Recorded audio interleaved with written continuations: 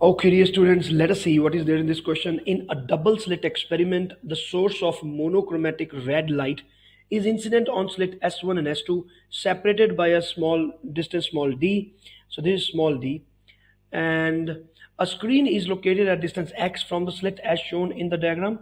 A pattern with the fringe spacing y is observed on the screen. So there is this fringe spacing here which is y and uh, um, let us see the question. Three changes are possible for this arrangement.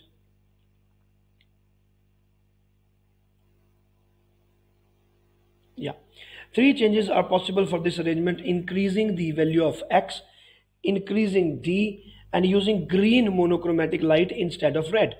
Which changes will cause a decrease in fringe spacing? So you want to decrease the fringe spacing. So first of all, my dear students, um, this is interference and uh, what is the formula for the fringe spacing? So we know it it to be lambda d by d where this x is actually taken as capital D small d is small d and lambda is the wavelength. Now initially they were using red wavelength but now they are using they're, they're saying that we can be using green wavelength. Let us see. And we want to decrease the fringe spacing. So if you want to decrease the fringe spacing what could you be doing um, first of all, increasing the small d. Is there the option there? Yes. The point number two is correct. Increasing small d. So more is the denominator, lesser will be the spacing. And um, we want to reduce s. So wavelength should reduce and capital D should also reduce. So x should reduce, but it is saying increasing x. So this is wrong.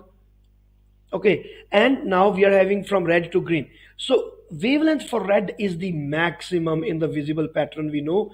And green would be having lesser wavelength. So it means we have reduced the wavelength if we are using shifting from red to green. So if the wavelength is decreased, spacing will definitely be decreased. And so this is also correct. So our answer will be 2 and 3 only, hence the answer is going to be C. So this is it, my dear students. This is how we do it. You have to remember this uh, fringe spacing formula here. And um, let me see in the data booklet. Uh, yes, the formula for the fringe spacing is given like this. So our answer will be uh, the thing that we selected. It is C. Let us uh, verify from the mark scheme now. And yes, the answer is C. My dear students, uh, uh, in this question, I would like to tell you one more thing, if time permits me. Like in this data booklet for 4.4, they have given these formulas for interference. This is for Snell's law. This is for fringe spacing. This is for constructive interference, but they have not given the values of n. So n here is a natural number that starts from 1, 2, 3, 4, and it goes like this. And um, n is also equal to 0, but it is not written here. I would be telling you why. Because like this is called the central bright fringe. And otherwise, this formula is very, very innovative, I would say. Like if you want to talk about the fourth bright point, the fourth bright fringe. So what you would you be doing? Simple. n is equal to 4. And you have the path difference there, like n is equal to 4. Fine.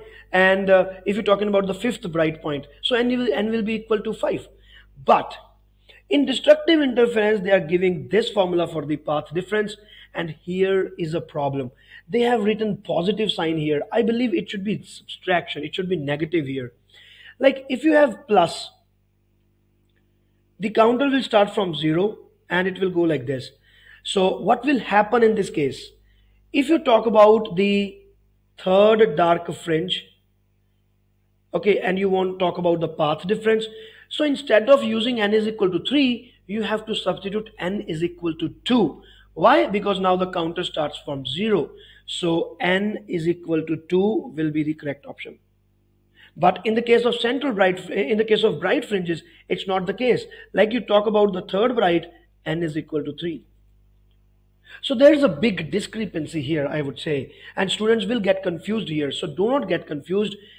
Instead of this, I suggest you that you must use n minus half here so that everything will fall in place. So the path difference will be n minus half into wavelength lambda. Nothing changes. It's still the odd multiple of lambda by 2. So nothing changes. The only thing is like for third dark fringe, in this formula n will be equal to 3 only so instead of using this one the given in the data booklet go for n minus half so if you're able to understand what i'm saying please try to incorporate this thing in your mind in your preparation. If you're getting confused here just leave this. No worries at all. Okay? No prestige issue. So this is the path difference. Okay my dear students so with this i'm now closing this thing up. And um, for this question it was a very simple question. The answer is c. All the best. Bye